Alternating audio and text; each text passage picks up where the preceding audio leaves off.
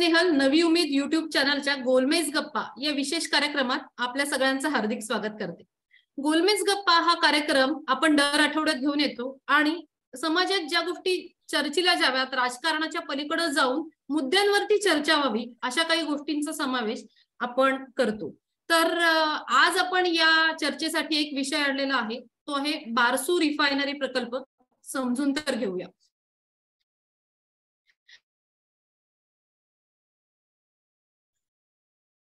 वाटतं आपण सगळे जण बातम्यांमध्ये चॅनल्सवर तर या सगळ्या ह्याच्यात आपल्याला दिसतंय की कोकणातल्या लोकांचा फार मोठा विरोध आहे त्याला.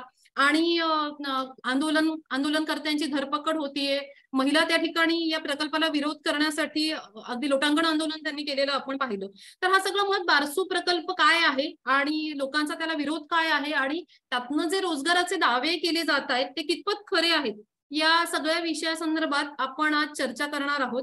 आणि आज या सगळ्या विषयाची चर्चा करण्यासाठी आपल्यासोबत दोन तज्ज्ञ अभ्यासक आपल्यासोबत आहेत जे कोकणाशी रिलेटेड आहेत. तिथं त्यांचा अभ्यासही आहे आणि पर्यावरण हा त्यांचा जिव्हाळ्याचा विषय आहे. मी सर्वात प्रथम आपल्या दो दोन्ही पाहुण्यांचं मनापासून स्वागत करते. आज आपल्यासोबत आहेत सायली पलांडे दातार आणि पंकज दळवी.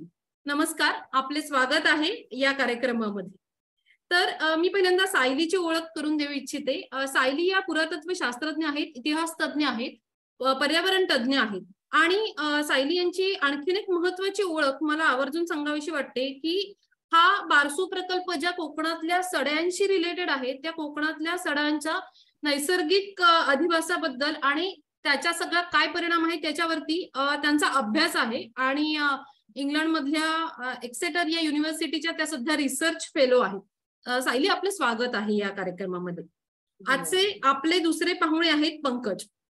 पंकज आपलं या कार्यक्रमात स्वागत आहे.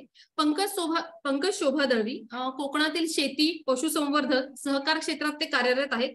कोकणातील विकास आणि धोरणात्मक प्रश्नावरती ते जाणकार आहेत. आणि नवी उमेदमध्ये काम करणाऱ्या बहुतेकांना माहिती असेल की पर्यावरण क्षेत्राशी रिलेटेड पंकजचा भरपूर अभ्यास आहे आणि आधीही ते आपल्यासोबत तज्ज्ञ आणि पाहुणे म्हणून सहभागी झाले आहेत. पंकज आपलं या कार्यक्रमात खूप स्वागत आहे. तर बारसूचा प्रश्न समजावून घेत असताना मुळात रिफायनरी प्रकल्प म्हणजे काय आहे याची अगदी थोडक्यात ओळख करून देऊन आपण थेट विषयाकडे जाऊयात. तर साधारणपणे रिफायनरी म्हणजे खनिज तेलाचं शुद्धीकरण करण्याचा प्रकल्प असतो. म्हणजे दुसऱ्या देशातनं खनिज तेल आणलं जातं आणि आपल्या इथं त्याचं शुद्धीकरण केलं जातं. तर दोन हजार पंधरा साली ऍक्च्युली या प्रकल्पाची घोषणा झाली होती ना आपल्यापैकी अनेकांना माहिती असेल की सुरुवातीला नाणारला हा प्रकल्प होणार होता. आणि त्यानंतर तो सध्या बारसू सोलगाव येथे आणण्यात आलेला आहे. तर सुरुवातीला मांडलेल्या प्रस्तावनेनुसार या रिफायनरीत भारत पेट्रोलियम इंडियन ऑइल आणि हिंदुस्थान पेट्रोलियम या तीन सरकारी कंपन्यांची म्हणून पन्नास टक्के भागीदारी होती. तर सौदी अरेबियाची कंपनी असलेली सौदी अरामको आणि संयुक्त अरब अमिरातीची Abu Dhabi national oil company. या सुद्धा पन्नास टक्के भागीदार आहेत. तर माझा सगळ्यात पहिला प्रश्न पंकज यांना असेल ते तिथले स्थानिकही आहेत आणि या सगळ्या प्रश्नांचे जाणकार अभ्यासकही आहेत. तर पंकज आम्ही गेले अनेक दिवस बघतोय की बारसू जितका नाणारच्या प्रकल्पाला विरोध झाला त्यापेक्षा कदाचित जास्तच विरोध बारसू इथल्या प्रकल्पाला सुद्धा होतोय आणि स्थानिक रस्त्यावरती उतरलेले आहेत. तर मुळात कोकणातल्या जनतेचा बारसू इथल्या प्रस्तावित रिफायनरी प्रकल्पाला विरोध का आहे? विरोध म्हणजे याच्यावरती टेक्निकल म्हणजे तांत्रिक किंवा इतर पर्यावरण मुद्द्यांवरती बऱ्यापैकी चर्चा झाली आहे. आणि याचं बऱ्यापैकी वातावरण निर्मिती दोन हजार पंधरा पासून झाली आहे. बरीचशी कारण ही लोकांना माहिती आहेत आणि ती शासनाने आणि आता जे काही रिफायनरीचे समर्थक असलेले नेते यांनी स्वतः ती सांगितलेली आहे म्हणजे दोन हजार पंधरा सोळाला जी प्रस्तावित झालेली रिफायनरी होती त्याच्या त्याच्या त्याच्या ज्यावेळी विरोधाचं त्याचं आंदोलन वगैरे सुरू झालं आणि शासनाने कबूल केलं की हा इथे नानारची ही जी जागा आहे यातून पर्यावरणाला हानी होऊ शकेल इथल्या आंबा बागायतीला धोका होऊ शकेल इथल्या मच्छीमारांचे प्रश्न अधिक जे प्रश्न आहेत ते गडद होऊ शकतील. हे शासन शासकीय स्तरावरती त्यांनी कबूल केलं आणि त्यांनी दोन हजार एकोणीस ला मार्च महिन्यामध्ये ती अधिसूचना देखील काढली. आणि दोन वर्षानंतर बरोबर दोन वर्षानंतर तेच नेते आणि इतर लोक जी नानारची रिफायनरी खाडीच्या एका बाजूला होती ती आता फक्त पलीकडे आणून प्रस्तावित केली गेली. आणि आता म्हटलं जात की नाही यातून काय म्हणतात त्याला स्थलांतराचा मुद्दा होणार नाही किंवा पर्यावरणाचा हानी होणार नाही वगैरे वगैरे कारण. हे मुळातच पटणार नाही कारण का जी दोन हजार एकोणीसला जी कारणं होती जी शासनाने कबूल केली ती कारणं तशीच आहेत. त्यामुळे मुळातच ऑलरेडी याचं वातावरण निर्मिती दोन हजार सोळा पासून झाली. लोकांना त्याची कारणंही माहिती आहेत. शासनालाही माहिती आहे पण शासनाला प्रकल्प रेटून न्यायचा आहे. ओके खरं आहे की मला वाटतं नाणारपासून हा जो नवीन प्रकल्प आहे तो सुद्धा काही फार दूर नाहीये तुम्ही म्हणता तसं आणि पुढचं म्हणजे जी काही वाचनातून किंवा याच्यातून कळलेली कारणं आहेत तर असं कळतंय की कोकणाची अर्थव्यवस्था ज्या गोष्टींवर अवलंबून आहे ती भात शेती असेल आंब्याची शेती असेल काजूंची शेती असेल किंवा मच्छीमारी असेल या सगळ्या गोष्टींवरती नाणारच्या सॉरी बारसू मध्ये होणाऱ्या प्रस्तावित प्रकल्पाचा दुष्परिणाम होईल असं वारंवार बोललं जातंय. तर अभ्यासातून काय पुढे आलेलं आहे की काय प्रकारचा धोका पोहोचू शकेल? तर पंकज किंवा सायली आपल्यापैकी कोणीही उत्तर दिलं तरी चालेल. याच्यात म्हणजे आपण फक्त रोजगार म्हणून जर आणत आणत असू तर एक गोष्ट विचारात घ्यावी लागेल की गेले युएनने झिरो कार्बन इमिजन किंवा जागतिक तापमान वाढ या दृष्टीने गेली एकोणीस शाश्वत ध्येय या दृष्टीने विकास आराखडे बनवले. आणि ते सर्व विकास आराखडे सगळ्या नॅशनल बॉडीजपासून ते ग्रामपंचायतींपर्यंत ह्या सगळ्यांमध्ये त्यांचे ते समावेश केलेले असं असताना आता असं म्हटलं की रोजगार आता ह्याच्यात मुळातच शासन एकाकडे धोरणांच्या दृष्टीने म्हणते विचार करताना म्हणते की आपल्याला शाश्वत धोरण राबवायचे आहे आणि शाश्वत धोरण ज्यावेळी राबवली जातात त्याच्यामध्ये मेजर स्टेकचा विचार केला जातो. जसं की मच्छीमारीच्या संबंधी जर मच्छीमार आता आहेत याच्यात विचार विचार घेतले गेले नाहीयेत. म्हणजे ते आता आजू बाजूला जे बंदर असलेलं जे जैतापूर किंवा साखरी नाटे जे बंदर आहे तिथे जवळपास चाळीस हजार ते पन्नास आज आजच्या डेटला काम करतायत त्या बंदरावर बाजूबाजूचा जो पेरिफेरल आहे म्हणजे ह्या म्हणजे याची तुम्हाला टोपोग्राफी सांगतो. वागोडन खाडी जैतापूर खाडी त्याच्यानंतर इकडच्या बाजूची पूर्ण गडखाडी असा हा सगळा असलेला मधला भाग आहे. आणि या ह्या भागामध्ये सगळ्याधिक जास्त आंब्याचं प्लांटेशन आहे. ते जवळपास एक लाख हेक्टर एवढं प्लांटेशन आहे. त्याच्यातलं बरचसं प्लांटेशन हे बऱ्यापैकी ऑन डॉक्युमेंट आलेलं नाही. त्याच्यामुळे त्याच्यापेक्षाही जास्त असलेलं प्लांटेशन आहे. सोबतच ह्याच्यात मळे शेती होते. काजू बागायत तर ही लक्षणीय आहेत. मच्छीमार लक्षणीय आहेत. सो हा स्टेक जवळपास पाच लाखांपेक्षा जास्त जातो. आणि ही रिफायनरीमध्ये जे प्रपोज केलेलं जे सांगितलं जातं एक लाख लोकांचा रोजगार दिला जाईल हे तद्दन खोटं आणि निव्वळ ही थाप आहे. याचं कारण हे की सौदा सौदी आरामकोच्या जगभरामध्ये ज्या रिफायनरी आहेत त्याच्यातली जी एम्प्लॉयमेंट आहे आजच्या डेटला ती फक्त सहासष्ट हजार पाचशे पर्यंत जी एम्प्लॉयमेंट आहे सौदी आरामकोच्या सगळ्या रिफायनरीची मिळून. आणि अशी हो. आणि असं असताना अशी कोणती रिफायनरी ही आणली जाणार आहे की त्याच्यामध्ये एम्प्लॉयमेंट आहे ते म्हटलं जातं की आम्ही डायरेक्ट एक लाख रिफाय रोजगार देऊ थेट रोजगार देऊ. जामनगर रिफायनरी मधली एम्प्लॉयमेंट बघितली ती पण एक लाखाच्या वरती जात नाही. ती पण जवळपास तीस हजारच्या आसपासच आहे डायरेक्ट इनडायरेक्ट पकडून. सो ज्यावेळी तुम्ही कंपेअर करता जामनगर बरोबर त्यावेळी तिथली आंब्याची बाग कन्फर्म काय म्हणतात कंपेअर केली जाते. तिथलं प्रदूषण किंवा पर्यावरण मुद्दा आहे तो कंपेअर केला जातो. तिथला जीडीपी कॅल्क्युलेट केला जातो. तर सोबतच तुम्ही एम्प्लॉयमेंट का नाही कॅल्क्युलेट केली जात आता परत जामनगरची रिफायनरी मला वाटतं अजून मागे मागे पंधरा वर्षापूर्वी ती बनलेली आहे. आणि त्याच्यातलं जे टेक्नॉलॉजी आहे ती आणि आता नवीन येणारी रिफायनरी मधली टेक्नॉलॉजी याच्यात अजून बदल होणार आहे. त्याच्यातले इमिजन बदल होत नाही त्याच्यातल्या मशिनरीज आणि मेकॅनिझम बदलतात. आता या फिफ्थ जनरेशन मेकॅनिझममध्ये ऑलरेडी एम्प्लॉयमेंट फार जास्त लागत नाही. म्हणजे अशा शक्यता म्हटल्या जातात. बरेचसे अभ्यासक जे काही केमिकल इंजिनियर्स आहेत किंवा पेट्रोलियम इंजिनियर्स आहेत ते म्हटलं जात त्यांच्या अंदाजानुसार म्हटलं जातं की याच्यामध्ये पाच ते सात हजार एम्प्लॉयमेंट हे खूप झालं. याच्या पलीकडेही काही जात नाही. हा नक्कीच की याच्यामध्ये त्याचा जीडीपी मोठा असणार आहे. सो रिफायनरी कुठे प्लॅन केली पाहिजे हे शासनाला कळलं पाहिजे. ती रिफायनरी व्हावी. ती या कोस्टलाईन किंवा या इथल्या स्टेकला बाधित न होता कुठेही इतर ठिकाणी प्लॅन केली जाऊ शकते. जसं की देशातल्या ज्या रिफायनरीज आहेत म्हणजे पाणीपतची रिफायनरी आहे की तिथे कोस्टलच असलं पाहिजे किंवा समुद्रच असलं पाहिजे हा काही काय अट नाही होऊ शकत.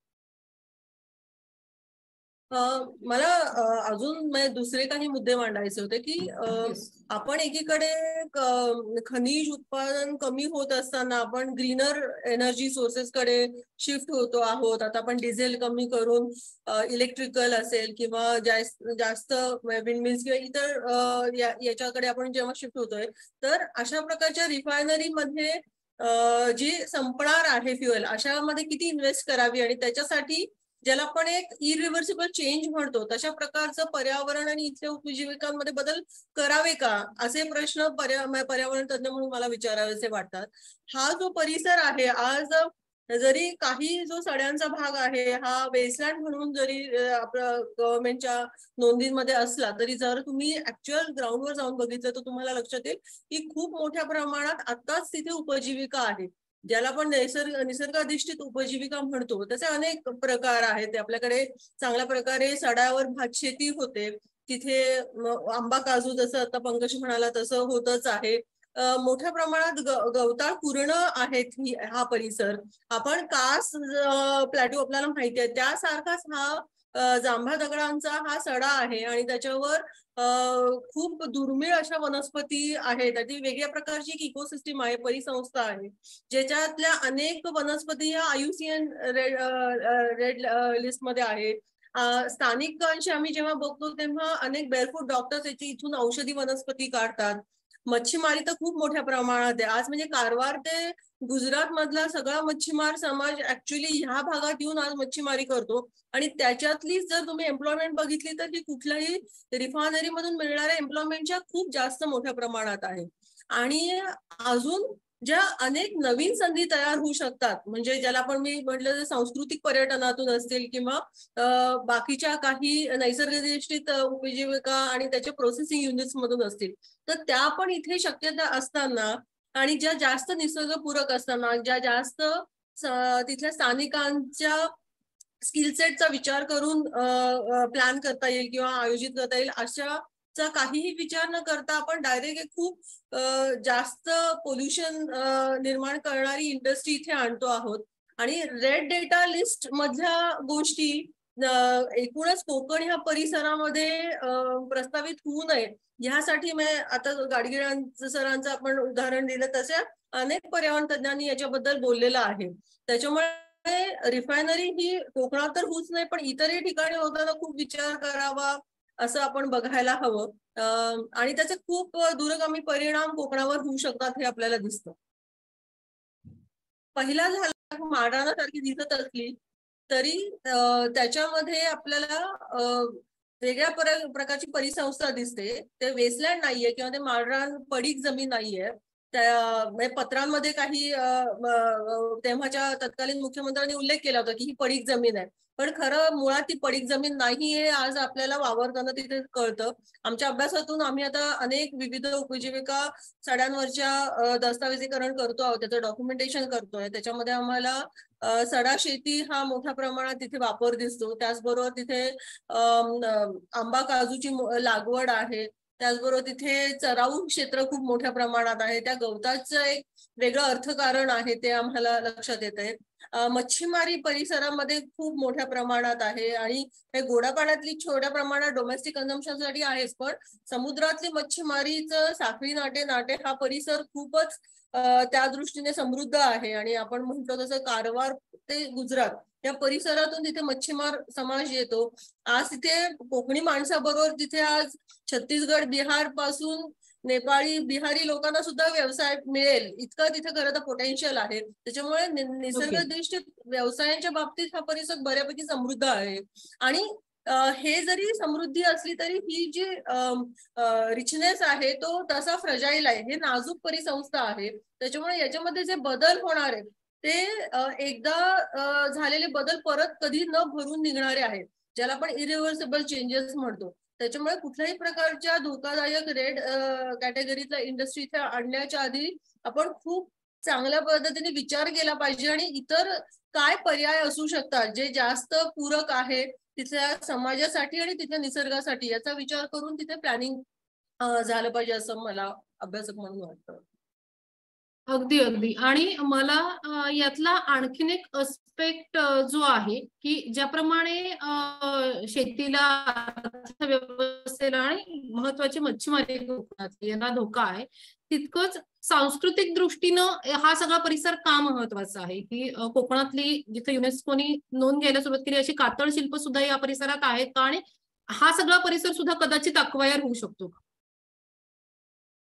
आपल्याला माहितीच आहे की आता युनेस्कोच्या टेंटेटिव्ह लिस्टमध्ये दोन वर्षापूर्वी ही सगळी शिल्प गेलेली आहेत म्हणजे अगदी रत्नागिरी हो. असेल सिंधुदुर्ग असेल आणि गोवा या परिसरातल्या आता नऊ साईट्स टेंटेटिव्हली सिलेक्ट केलेल्या आहेत त्याच्यातल्या दोन महत्त्वाच्या साईट्स आज ह्याच परिसरात आहे देवाचे गोठणे आणि बारसू.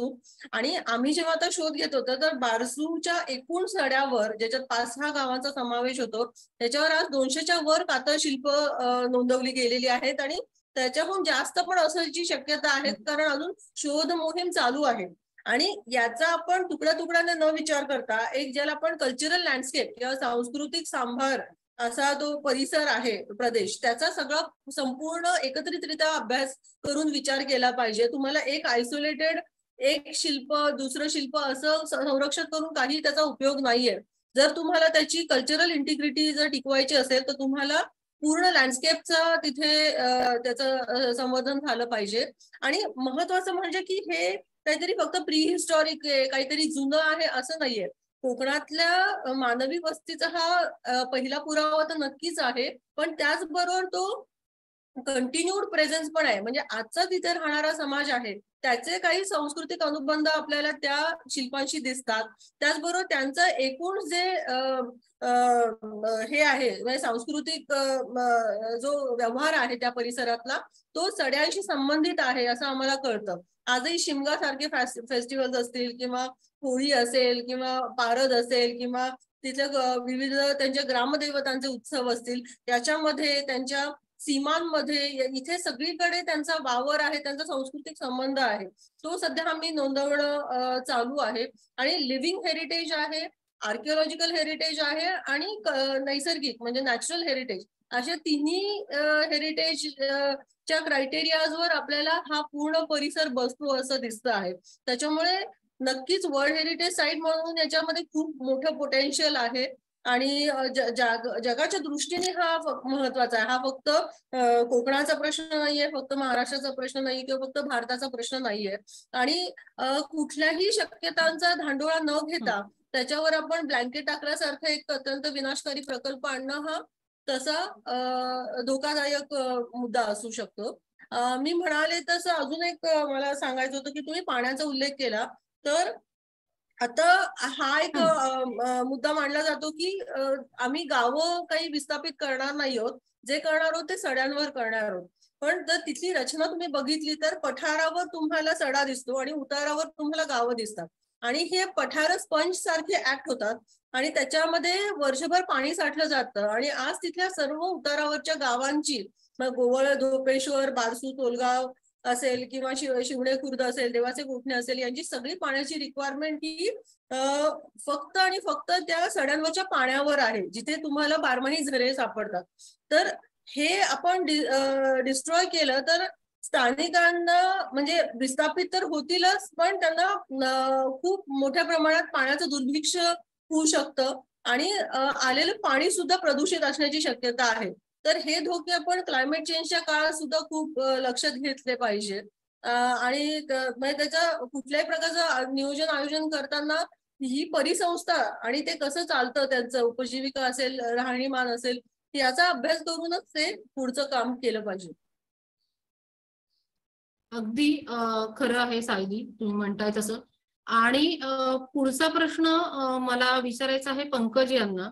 की असं वाचण्यात आलेलं आहे की ही सगळी जी प्रोसेस होती तिथे रिफायनरी आणण्याची त्याच्यात लोकशाही तत्वाचा फार अभाव जाणवतोय की तिकडच्या ग्रुप ग्रामपंचायतीने असा ठराव पास केलेला आहे की आम्हाला नको आहे रिफायनरी किंवा कुठलाही रासायनिक प्रकल्प ज्याचा कोकणाच्या अर्थव्यवस्थेवर आमच्या उपजीविकेवर परिणाम होईल असं काही नको. तर ते सरळ सरळ धुडकावून लावून आम्ही काही मागितलेलं नसताना तुम्ही आम्हाला का देताय? हे लोकांचं म्हणणं आहे. ह्याचं एक मला तुमच्याकडनं हवंय आणि माझा दुसरा प्रश्न असा आहे की मला वाटतं लोटे एमआयडीसीच्या सगळ्या ह्याच्या संघर्षाच्या ह्याच्यात सुद्धा तुम्ही फार जवळून पाहिलेले तुम्ही सहभागी होता त्या ह्याच्यामध्ये. तर त्या दरम्यान ज्येष्ठ पर्यावरणतज्ञ माधव गाडगीळ यांनी सांगितलेलं आहे की कोकणात अशा प्रकारचा कोणताही केमिकल प्रकल्प आणणं हा कोकणासाठी किती घातक आहे? आणि तसं असून सुद्धा कोकणातच पुन्हा पुन्हा अशा प्रकारचे केमिकल प्रकल्प आणण्याचा प्रयत्न केला जातोय. कोकणातले लोक त्याला विरोध करतायत. तर या सगळ्या गोष्टींकडे तुम्ही कसं बघता? सायली म्हणाली त्याला फक्त मी जोडून फक्त सड्याचं एक वेगळं महत्त्व सांगतो आणि मग तुमच्या हो. दोन्ही प्रश्नांची उत्तर देतो. सड्याचा एक मुद्दा असं म्हटलं जातं की हा ही मोठी एक बॅरन लँड आहे असं कन्सिडर केलं जातं. टेक्निकली ते फार भौगोलिक दृष्ट्या खूप त्याचं महत्त्व आहे वेगळं. याचं कारण असं की समुद्र किनाऱ्यापासून हे सगळे सडे एक दहा किलोमीटर सहा किलोमीटरच्या पेरीफेरीमध्ये प्ला म्हणजे प्लॉट आहेत सगळे. सर इथलं जर ह्याचं भौगोलिक महत्त्व असं आहे की समुद्राचे जे खारे वारे आहेत ते सगळे ह्या सड्यावरती आल्यावरती या गरम सड्यावरती आल्यावरती तिथे एक वेगळं वातावरण तयार होतं ज्याला सॉल्स ब्रीज असं म्हटलं जातं. आणि ह्या सॉल्स ब्रीज हे एकमेव कारण असतं की जो इथला हापूस आंबा हा उत्तम दर्जाचा तयार होतो. सो जगाच्या पाठीवरती हे कुठेही वातावरण तयार होत नाही. याच कारणामुळे आमच्या इथल्या हापूस आंब्याला जे आयचं टॅग आहे ते मिळालेलं आहे. सो सड्याचं हे वेगळं महत्त्व आहे. भौगोलिकदृष्ट्या. अगदी अगदी. त्यामुळेच म्हणजे पुन्हा तुम्ही जर तिथे असं काही आणलं तर मग जो आपला हापूस आहे महत्त्वाचा त्या चवीवर आणि सगळ्याच गोष्टीवरती हो, परिणाम गुणवत्ता या सगळ्यावरती परिणाम. होय. आता दुसरा मुद्दा इथला हा इथल्या लोकांवरती होणाऱ्या या आंदोलनाच्या दमनाचा. तो विषय असा की ही बरीच हे आंदोलन आता हे पाच गावांपुरतं मर्यादित राहिलेलं नाहीये. हे याचा ट्रेंड बनतोय. पूर्ण उर्वरितले महाराष्ट्रातल्या वेगवेगळ्या संघटना या सगळ्या आंदोलनाला या स्थानिकाच्या आंदोलनाला पाठिंबा देतो मी जे राहतो त्या म्हणजे मी मी स्वतः राहतो ते मला वाटतं बारपायनरीच्या एक साधारण दीडशे ते दोनशे किलोमीटर लांब राहतो. तरी मला त्या मुद्द्या त्या आंदोलनाबद्दल म्हणजे सहभाग घ्यावा वाटतो त्या आंदोलनाशी जोडलेलं राहावं वाटतं. इव्हन कोकणातल्या बऱ्याच म्हणजे आज मुंबईमध्ये जसं डोंबिवलीमध्ये काल आंदोलन झालं दादरला याच्या अगोदर आंदोलन झालं जे मुंबईतले ठिकठिकाणातले जे चाकरमानी आहेत ते ह्या कोकण नष्ट होऊ नये रिफायनरीने नष्ट होऊ शकेल यामुळे ओव्हरऑल सगळ्या सगळ्या ठिकाणाहून उत्स्फूर्तपणे जोडले जात आहे आता मुद्दा असा आहे की हा आतापर्यंत पाच गावाचा प्रश्न आहे त्याच्यामुळे राज्य शासन दमन करत होतं की आम्ही रेटून नेत होतो किंवा रेटून नेईल असं वाटत होतं. रेटून नेण्याचा प्रयत्न झाला. त्याच अनुषंगाने त्यांनी सॉइल टेस्टिंग जी आहे तीही पूर्ण केली. पण ज्यावेळी अनेक समाज माध्यमातनं याच्यात सर्वाधिक महत्त्वाचा रोल हा तिथल्या स्थानिक पत्रकारांचा आहे. ज्यांनी ही सॉइल टेस्टिंग होत असताना स्त्रिया ज्यावेळी रोडवरती आडव्या झोपल्या होत्या त्यावेळी तिथल्या एसपींनी सगळ्या समाज माध्यम माध्यम समूहातल्या लोकांना तिथून हुसकावून लावलं होतं आणि त्या माध्यम समूहातल्या प्रतिनिधींनी ही मुद हा मुद्दा अधोरेखित केला आणि उजेडात आणलं की तुम्ही इथून आम्हाला हुसकावून लावू शकत नाही. जे घडतंय ते आम्हाला लोकांपर्यंत पोहोचू द्या. सो अश्रुधिराच्या नळकांड्या फोडल्या असतील लोकांवरती झालेले लाठीचार्ज असतील लोकांच्या ह्या स्थानबद्धता केलेली असेल तडीपारीच्या नोटिसेस असतील ह्या सगळ्या हे सगळे मुद्दे लोकांच्या प्रकाश जोतात आले. आणि त्यानंतर ज्यावेळी पालकमंत्री म्हणले की हा आम्ही आता चर्चा करूया आपण याच्यात संवाद ठेवूया. आता कसं कोणता संवाद ठेवणार आहे? जेव्हा की तुम्ही एक हजारपेक्षा जास्त लोकांना जेलची स्वारी करून आणलेली आहे स्थानबद्धता केलेली आहे पन्नासपेक्षा जास्त कार्यकर्ते आहेत त्यांना तडीपारीच्या नोटिसेस दिलेल्या आहेत. आज हे जे कार्यकर्ते हे लक्षात घेतले पाहिजेत हे काही मोठे व्यावसायिक नाही आहेत. त्यांचे व्यवसाय जोडलेले आहेत जे मुळात शेतीशी जोडलेले आहेत. अमोल बोळे सारखा माणूस दीपक जोशींसारखे माणूस स्वतः आंबा उत्पादक आहेत. आज आंबा उत्पादकांसाठी हा जो टायमिंग असतो मार्च पासून एप्रिल मे पर्यंतचा हा किती क्रुशियल असतो मला माहितीये कारण का मी स्वतः आंबा बागायतदार आहे. या टायमिंगमध्ये आपला व्यवसाय सोडून ही लोक झोकाने आंदोलनामध्ये आहेत. म्हणजे यांना माहितीये की हा अस्तित्वाचा प्रश्न निर्माण झालेला आहे. आज जर आपण आज आंदोलन केलं आणि आज फक्त आंबा सीझन बघत राहिलो तर आयुष्यभरासाठी आपण उपाशी राहण्याची वेळ येऊ शकेल. हे लोकांना कबूल झालेलं आहे. आणि याचं तुम्ही म्हणता तसं जी जिवंत उदाहरण म्हणजे लोटे एमआयडीसी आहे. लोटे एमआयडीसी हे पण एका पटा एका प्लॅट्यूवरती आहे. लोटे म्हणजे घाणेकुंट लोटे आवाशी आणि गुंडे ह्या प्लॅट्यून म्हणजे ह्या सड्यांवरच्या भागांमध्ये ही रासायनिक जी एमआयडीसी आहे ती प्लॅन केलेली आहे. आणि त्या एमआयडीसीचा परिणाम असा झालाय की तिथून यापूर्वी एमआयडीसी येण्यापूर्वी तिथल्या असलेल्या दाभोळ खाडीवरती जवळपास त्र्याऐंशी गावं ही मच्छीमारीवरती जगणारी होती. आणि एकोणीसशे सत्त्याण्णव ला विदाऊट सीईटीपी सीईटीपी नसताना हे डायरेक्ट जे केमिकल एफ्लुएंट आहे ते डायरेक्ट खाडीत सोडलं गेलं आणि त्याच्यानंतर मासेमारी बाधित झाली. आता ही मासेमारी फक्त म्हटलं जातं की म्हणजे याचं कारण फक्त जे आहे हे एमआयडीसीतनं सोडलं जाणारे ऍफ्लुएंट हे एकमेव कारण आहे. आता ऍफ्लुएंट हे कारण आहे याच्यासोबत अजून एक मोठं कारण आहे ते म्हणजे तिथल्या होणाऱ्या एअर इमिजनचं तिथे जे इमिजन आहे त्याच्यावरती कोणताही कंट्रोल नाहीये. तिथले कोणतेही सॉक्स नॉक्स पाळले जात नाहीयेत. जे ज्या जे फॉलो केले पाहिजे जे नॉर्म्स ते एअर इंडिकेटर सारखी बेसिक यंत्रणा पण नाहीये. एका मोठ्या रासायनिक एमआयडीसीचं मी म्हणतोय. आणि राज्य शासनाला एका एमआयडीसी एक रासायनिक एमआयडीसी ज्याच्यामध्ये छोट्या छोट्या शहाऐंशी शहाऐंशी शहाऐंशी ते नव्वद कंपन्या आहेत त्यांचं एअर इमिजन थांबवता येत नाही. हे कोणत्या प्रकारे ह्याच्यापेक्षा दोनशे पट असणारी रिफायनरी याचं एअर इमिजन थांबवणार आहे? आज लोटे एमआयडीसीच्या पेरी मधल्या पंचवीस किलोमीटरच्या भागामध्ये म्हणजे जसा खालची सोनगाव असेल आयनी असेल मेटे असतील असगणी असतील ही सगळी गावं जी आहेत खालची ही आंबा उत्पादकांची गाव आहेत. आज तिथे आंबा येत नाहीये. आजच्या डेटला आंबा येत नाहीये. एमआयडीसीच्या पेरीपेरी मधल्या पंधरा किलोमीटरच्या एरियामध्ये आणि ज्यावेळी ह्याच्या म्हणजे एका एमआयडीसीच्या दोनशे पण मोठी रिफायनरी आणली जाणार आहे त्यावेळी काय होणार आहे? आज आंदोलन पाच गाव करतात ही एक चांगली गोष्ट आहे. पण उदाहरण म्हणून लोट्याचं घेतलं तर रिफायनरी म्हणजे एमआयडीसी झालेली पाच गावं आहेत त्यांचं काहीतरी चाललंय. त्यांचे कॉन्ट्रॅक्ट आहेत त्यांना छोट्या मोठ्या किडूक मुडूक नोकऱ्या आहेत काहीतरी त्यांचं चाललंय. छोटे मोठे काही कॉन्ट्रॅक्ट चालतात. पण आजूबाजूच्या पंधरा गावांचं जे काही ज्यांचं विस्थापन झालं नव्हतं त्यांना तर मोठा तिथं गेली वीस वर्ष संक्रमणात जात आहेत अगदी. म्हणजे त्याचमुळे मला वाटतं माधव गाडगीळ म्हणले होते की वसिष्ठी नदीच्या प्रदूषणामुळे लोट्याच्या एमआयडीसी जेवढ्या नोकऱ्या निर्माण झाल्या त्याच्यापेक्षा दुप्पट प्रमाणात तिथं मच्छीमारी करणाऱ्या लोकांचा रोजगार गेला. तर हे सगळं घडण्याची भीती तुम्हाला वारसू सोलगाव आणि आजूबाजूच्या परिसरात वाटतेय का? हो शंभर टक्के वाटते ना. कारण का? तिथून तिथून म्हणजे आज फक्त देवगड आणि रत्नागिरी दोन्ही जिल्ह्यांचा हा मधला भाग आहे. एकदम बॉर्डरवरचा भाग आहे. तिथून सगळ्यात मोठा जो धोका राहणार आहे एक्झॉस्टचा तो म्हणजे फक्त राजापूर तालुक्याला राहणार नाहीये. आज इतर सगळी आंदोलनं देशातली सगळी आंदोलनं घेतली तर जिथे ज्या भागात असे प्रकल्प असतात त्या प्रकल्पाच्या आजूबाजूच्या पन्नास किलोमीटर मधली लोक आंदोलन करत असतात.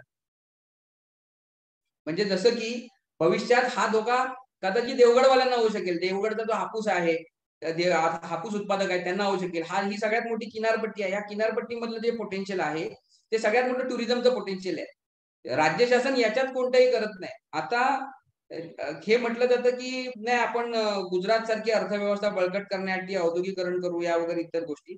पण गुजरातचं जी भौगोलिक स्थिती आहे ती तिच्या मर्यादा आणि कोकणातली भौगोलिक स्थिती हे कम्प्लिटली विचारात घेतलं पाहिजे. गुजरातमध्ये हे तर नाहीये. वेस्टर्न हिलचा भाग नाहीये. तिथे कोणत्याही पश्चिम घाटाचा सुंदरता त्याला लाभलेली नाहीये. तिथे सोळाशे किलोमीटरची लांब जरी किलोमीटर लांबीची जरी किनारपट्टी असली तरी तिथल्या किनारपट्टीवरती कोणतेही टुरिझम इंडस्ट्री नाहीये जी कोकणात पोटेन्शियल आहे. आज सोळाशे किलोमीटरच्या गुजरात मधल्या एका किनारपट्टीवरती एकही असा बीच नाहीये की जिथे टुरिझम चांगल्या प्रकारे डेव्हलप झालेलं आहे. हे जर तुम्ही कोकणातलं घेतलात. म्हणजे डहाणू पासून जर आज खाली शिरोड्यापर्यंत तुम्ही गेलात तर कमीत कमी पन्नास बीचेस आहेत की जिथे काही ना काहीतरी व्यवसाय रोजगार आहेत. सो याच्यामधलं पोटेन्शियल आहे राज्य शासनाने किंवा स्टेटने यामध्ये लक्ष घालून खूप चांगल्या प्रकारे शाश्वत नियोजन करता येणार आहे. ज्याच्यात जे रोजगार विमुख विषय होऊ शकतात सोबतीनेच शाश्वत विकास हा पण मुद्दा राहू शकेल. अगदी. मी आणखीन एका पुढच्या प्रश्नाकडे जाऊ इच्छिते. माझा पुढचा प्रश्न सायली यांच्यासाठी असेल. म्हणजे सायलीला खास यासाठी की सायली स्वतः एक आंबा उत्पादक पण आहेत. म्हणूनही माझा प्रश्न आहे की सायली यांचा स्वतःचा मोराची आमराई नावाचं ब्रँड आहे आणि केशर आंबे सेंद्रिय पद्धतीने उगवलेल्या त्या त्याची त्यांची शेती आहे. तर सायली मला तुम्हाला असं विचारायचंय एक पर्यावरण तज्ज्ञ म्हणून पण आणि एक स्वतः शेती करणाऱ्या म्हणून पण की जेव्हा जेव्हा बारसूचा प्रश्न येतो तेव्हा त्याचे जे समर्थक आहेत ते जामनगरचं उदाहरण देतात. की जामनगरमध्ये तर एवढी मोठी रिफायनरी आहे आणि त्याच्या शेजारी रिलायन्सची मोठी आमराई आहे आणि केशर आंब्यासकट वेगवेगळे अतिशय चांगले आंबे तिथे छान तयार होतात आणि एवढंच नाही तर आम्ही एक्सपोर्ट वगैरे पण करतो असे दावे व्हॉट्सअप मधून केले जातात. तर या सग आणि मग कोकणातल्या आंब्यांवर कसा काय परिणाम होईल बाबा? असं एक जोडून घेतलं जातं त्याच्याशी. तर तुमचं काय म्हणणं आहे या सगळ्या बाबतीत? नाही जामनगरचा जो ओव्हरऑल पोस्ट फिरणं किंवा प्रपोगंडा आहे तो खरा तितका खरा नाहीये. कारण आजही तुम्ही बघितलं की महाराष्ट्रातला पुणे मुंबई असो किंवा इतर ठिकाणचा ग्राहक शेवटी पसंती आज देवगड आणि रत्नागिरी हापूसलाच देतो. कितीही महाग असला कितीही हे असला तरी. दुसरं म्हणजे मी स्वतः ऑर्गॅनिक शेतकरी आहे. परिणाम अशा प्रकारच्या प्रदूषित वाऱ्यात उगवलेल्या याचे काय होतात? याचे कितपत अभ्यास झाले माहिती नाही पण आपल्याला एवढं नक्की माहिती की कॅन्सर कर्करोग होण्याची शक्यता आहे स्किन डिसिजेस होण्याची शक्यता आहे. तर माहूलच्या ठिकाणी तर जे राहणारे रहिवासी आहेत त्यांना विविध प्रकारचे स्किन डिसीजेस आहेत किंवा श्वसनाचे रोग आहेत. तर अशा ठिकाणी वाढलेला आंबा हा कधीही तसा सेफ असू शकत नाही पूर्णतः. आज काही झालं तरी म्हणजे कोकणातला आंबा जसं तर पंकज म्हणाला की तिथल्या वातावरणाला पूरक असा निर्माण होतो. आणि तरी खरं गेल्या काही वर्षात आपण बघतो की क्लायमेट चेंज हे आज आपल्याला जमिनीवर आता उतरलेलं आहे आणि आज त्याचे परिणाम आपल्याला आजूबाजूला दिसतात. आंबा उशिरा येणं कमी येणं मोहोळ मोहोर गळणं किंवा त्याच्यावर रोग येणं हे साधे ग्लोबल वॉर्मिंग आणि क्लायमेट चेंजचे परिणाम आपल्याला इतके त्रासदायक होत आहेत. जेव्हा एक सगळ्यात मोठी रिफायनरी आपल्या शेजारी येऊन थांबेल तर त्याचे परिणाम खूप दूरगामी आणि म्हणजे फक्त कोकण नाही तर ते महाराष्ट्राच्या सह्याद्रीच्या इकडच्या पट्ट्यातही दिसायची शक्यता आहे. म्हणजे हा म्हटलं तसं सिंधुदुर्ग आणि रत्नागिरी पूर्ण अफेक्ट होतोच आहे. आणि तुम्हाला माहिती असेल की एकीकडे जैतापूरचा प्रकल्प अगदी तीस चाळीस किलोमीटरच्या अंतरावर आहे.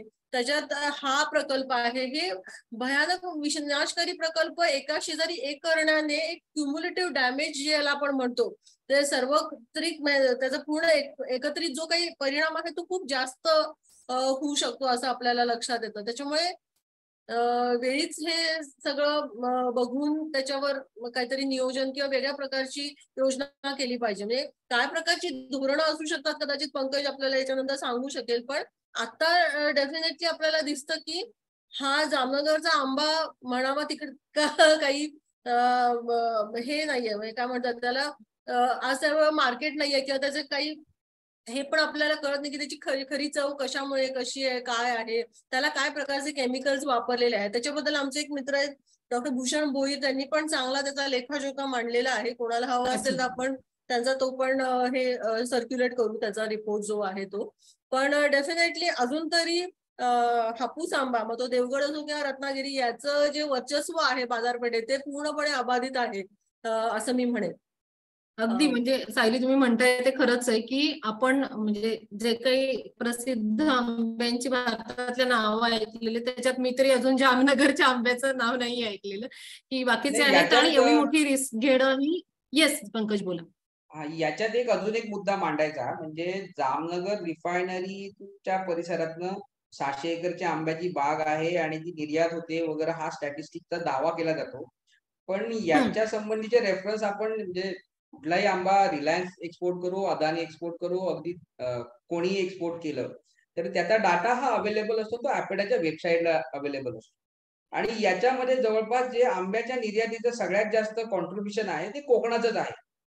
ते काही रिलायन्स नाहीये किंवा अदानीचं नाहीये किंवा कोणाचंच नाहीये. दुसरा मुद्दा असा की आपण ह्या सगळ्या लागवडी ह्या सगळ्या बघितल्या जातो ह्या राज्याचं पणन मंडळ असेल किंवा नॅशनल हॉर्टिकल्चर मिशन असेल किंवा राज्याची फलोत्पादन योजना असेल याच्यावरनं आपण अंदाज बांधले जातो आज गुजरातची जी फलोत्पादन योजना आहे त्याच्या त्याचं जे बजेट आहे ते कोकणाच्याही बजेटच्या पन्नास साठ टक्के सत्तर टक्के पण जात नाही. पूर्ण राज्याचं बजेट ओव्हरऑल महाराष्ट्राचं जे फलोत्पादनाचं बजेट आहे तिथं आपण कन्सिडरच करत नाही. आपण कॉन्टेक्स्ट सुद्धा फक्त कोकणाच्या फलोत्पादनाचा जी टक्केवारी आणि त्याचा जो डाटा आहे तो बघितला आणि गुजरातच्या पूर्ण राज्याचा बघितला तोही मॅच होत नाही. सो फलोत्पादनचे हे जावे आहेत किंवा निर्यात फलोत्पादनचं जर प्लांटेशन तुमच्याकडे जास्त असेल निर्यात कोणती जास्त होणार आहे? हाही मुद्दा राहतोच.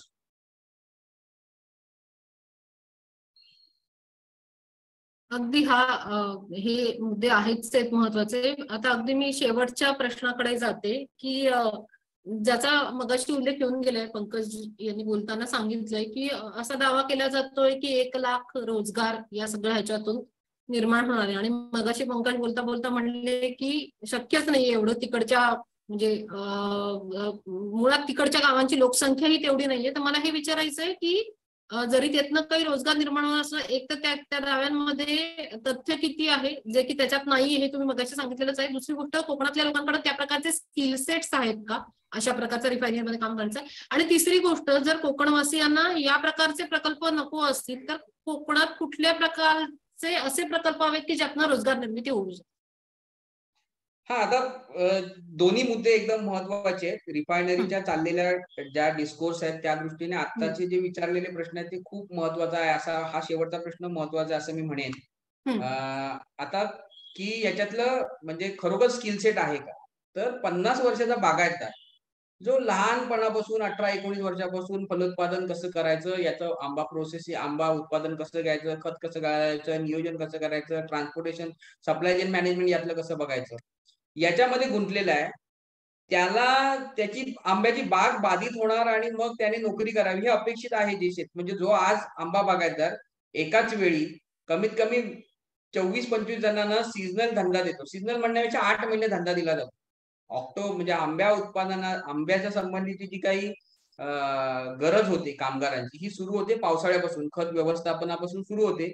आणि ऍक्च्युअल बागा साफ करणं आणि आंबा पाठवणं हे साधारण हा कालावधी ऑक्टोबरपासून सुरू होतो. ऑक्टोबरपासून बागा साफ केल्याला करायला सुरुवात जातात.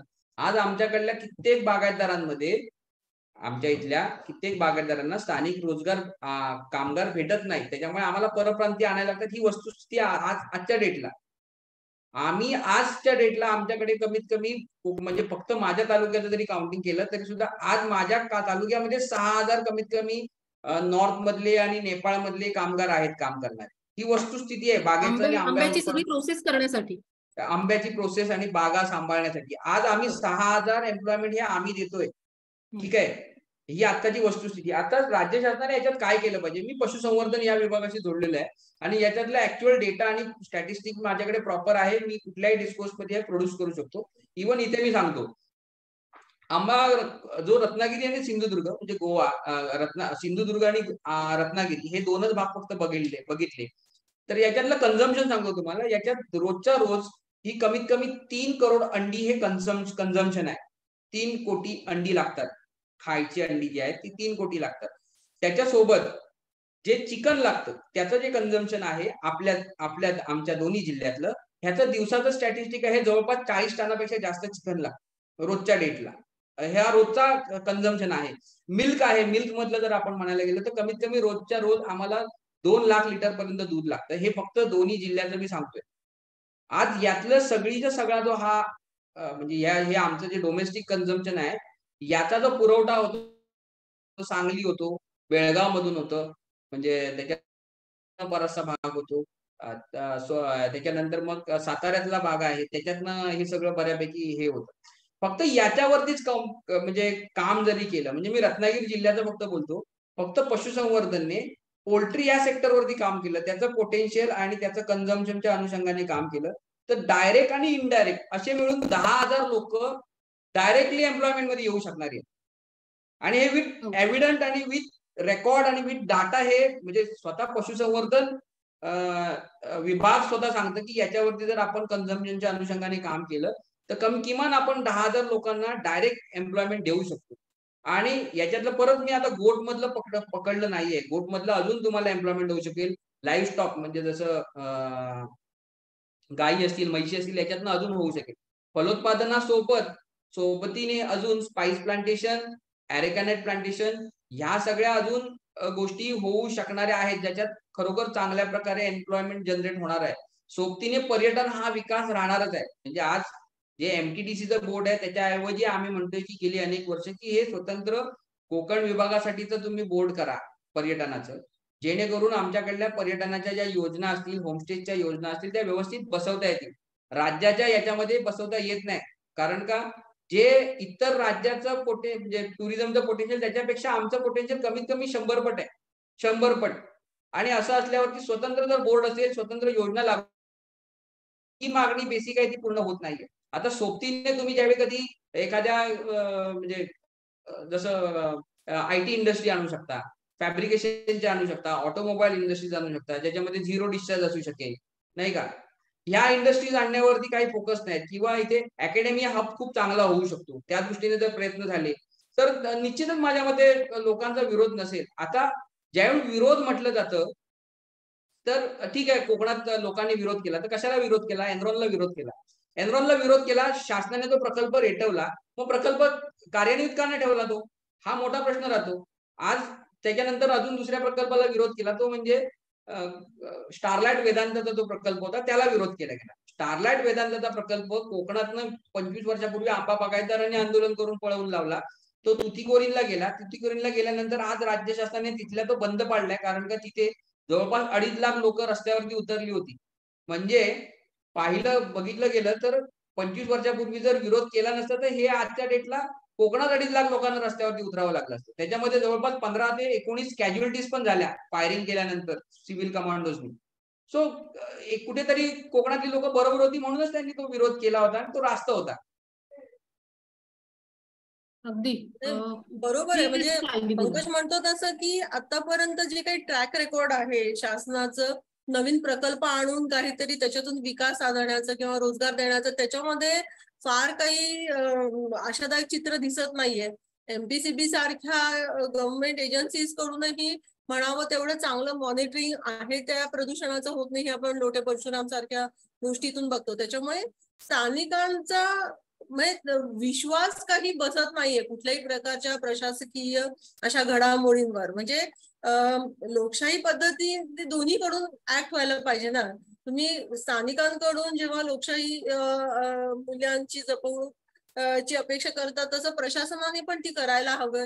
त्याप्रमाणे त्यांनी बरोबर त्यांच्याबरोबर चर्चा करून काही प्लॅन इव्हॉल्व्ह केले पाहिजे. पार्टिसिपेटरी रिजनल प्लॅनिंग असेल किंवा अशा अनेक पद्धतीने तुम्ही प्लॅनिंग करू शकतात तर ते न करता एक खूप अविश्वासाचं वातावरण आता बाजूच्या भोवती तयार झालेलं आहे. म्हणजे स्थानिकांनी बरोबर आपली लोकशाही भूमिका बजावत त्यांनी ग्रामसभा ठराव घेतलेले आहेत प्रत्येक त्यांच्या गावांमध्ये आणि त्यांचा शिस्तीत विरोध आहे तो लेखी स्वरूपात आणि भेटून सुद्धा कळवलेला आहे. पण त्याचबरोबर इथे एमआयडीसी सारखे ऍक्ट वापरून इथे आधी लोकांच्या जमिनी काही घेण्याचा प्रयत्न करून त्या परस्पर रिफायनरीला द्यायचा प्रयत्न केला जातोय की काय अशी लोकांना शंका येते. किंवा आता जे टेस्टिंग झालंय त्याच्यामध्ये पण असं झालंय की अनेक भूमी जे मालक होते तिथल्या जमिनींचे त्यांनी परवानगी न देता तिथे टेस्टिंग झालेलं आहे.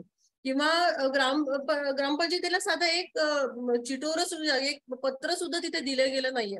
आता माझ्यासारख्या पुरातत्व अभ्यासकाला तर अजून भीती अशी वाटते की जिथे अजूनही कादशिल्प सापडत आहेत ज्या परिसरात तिथे यांनी काहीही अभ्यास न करता ड्रिलिंग केलेलं आहे.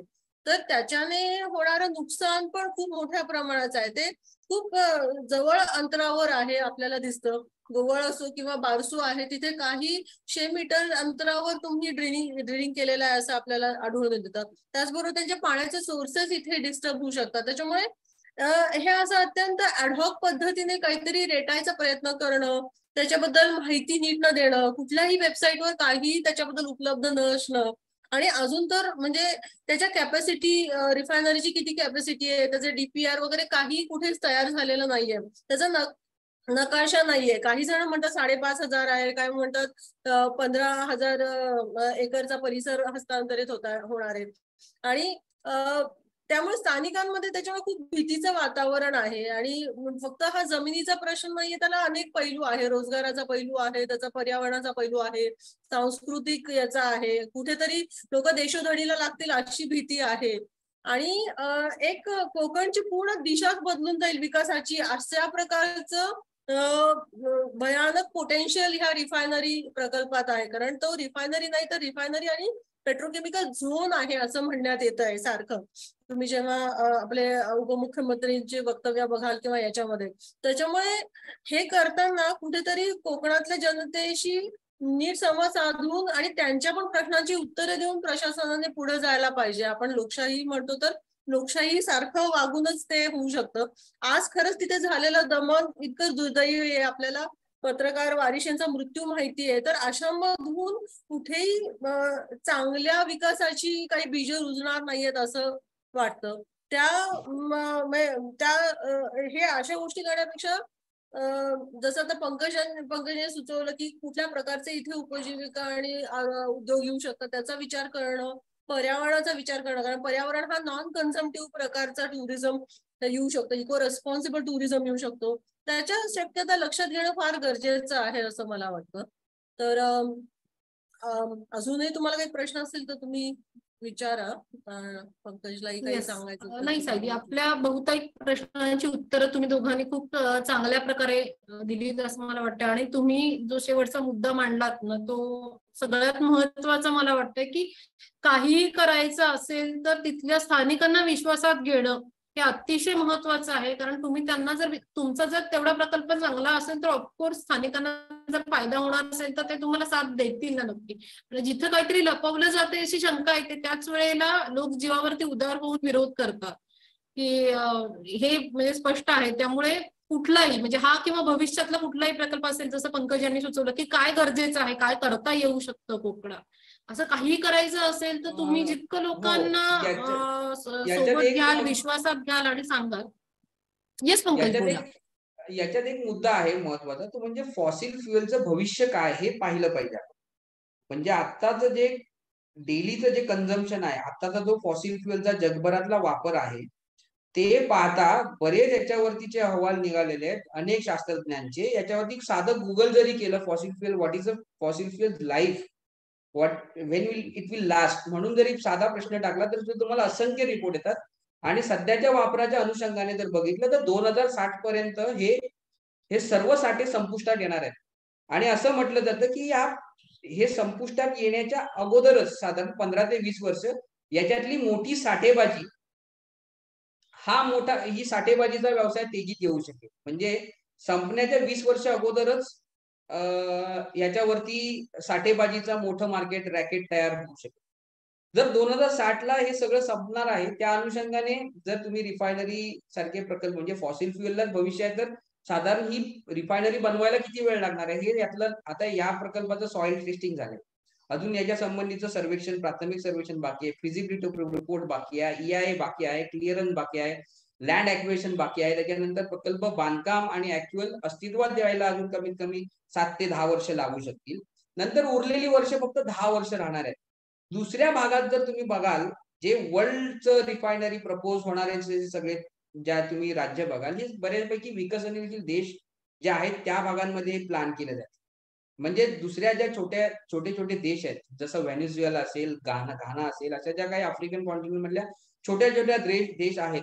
आज देशामध्ये जगभरामध्ये जवळ तीनशे पंचेचाळीस वेगळे अजून रिफायनरीचे प्रकल्प राबवले जात आहेत. आणि हे सगळे प्रकल्प छोट्या छोट्या कंट्रीजमध्ये प्रपोज आहेत. दुसऱ्या भागात जर तुम्ही बघाल तर ते फॉसिल फ्युएल प्रोव्हाइड करणाऱ्या ज्या कंट्रीज आहेत जसं अरे सौदी अरब सौदी अरेबिया आहे कतार असेल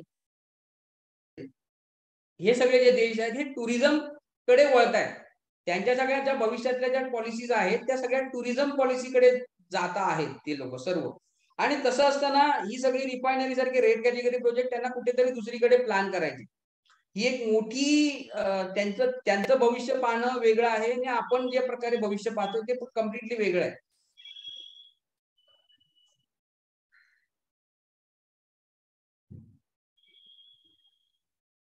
अगदी महत्त्वाचा मुद्दा आहे तुम्ही म्हणला तो. आणि मला वाटतं एंडकडे जाताना मला हेच म्हणावं वाटेल की एकूण काय आपल्या जग जग कुठं चाललेलं आहे? पर्यावरणाच्या दृष्टीने काय गोष्टी महत्त्वाच्या आहेत? ते सगळं राहिलं तर आपण टिकू शकणार आहेत या गोष्टी डोक्यात ठेवून प्लॅन करावं लागतील. सुदैवाने पण फार राजकारणी लोक फार या गोष्टीचा विचार करत असतील असं नाही. त्यामुळे तुमच्यासारख्या अभ्यासकांचं खूप महत्त्व आहे की वारंवार या गोष्टींची आठवण करून देणं प्रशासकांना आणि शासकांना. आणि मला एक गोष्ट त्यातल्या त्यात समाधानाची वाटते की कोकणातले लोक खूप जागृत आहेत आणि वेळप्रसंगी रस्त्यावर उतरून या सगळ्याला विरोध करण्याची त्यांनी तयारी दाखवलेली आहे. तर ही एक आश्वासक गोष्ट वाटते आणि आपण आशा करूया की पॉलिसी राबवणारे जे आहेत त्यांना या गोष्टीचा काहीतरी फरक पडेल. धन्यवाद सायली आणि धन्यवाद पंकज आपण आज वेळ दिलात नवी उमेदसाठी आणि खूप छान इन्साइट दिल्यात. वेगवेगळ्या विषयातल्या. आणि धन्यवाद आपण वेळ दिल्याबद्दल. आपण नवी उमेदच्या कार्यक्रमात यापुढेही भेटत राहू. थँक्यू धन्यवाद.